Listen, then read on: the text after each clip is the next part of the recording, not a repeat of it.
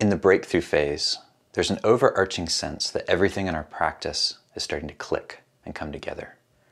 Where before we were seeking, now we're starting to find answers to some of our deepest questions. This can come after a significant period of practice, or it can happen quite spontaneously. Some people experience spontaneous breakthroughs while experimenting with psychoactive drugs or having sex or any number of human experiences that push our boundaries and open us in some way.